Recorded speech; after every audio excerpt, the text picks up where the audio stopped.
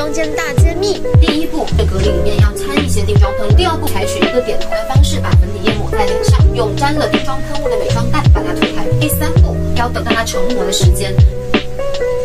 最后还要再盖一层散粉。我选用的粉底液是卡姿兰小夜猫持妆粉底液，瓶身本身的质感超高级的，在手上推开，质地很轻薄，完全不会闷痘，它的防水防汗太绝了。好，我现在已经画好了小夜猫造型，还是吗？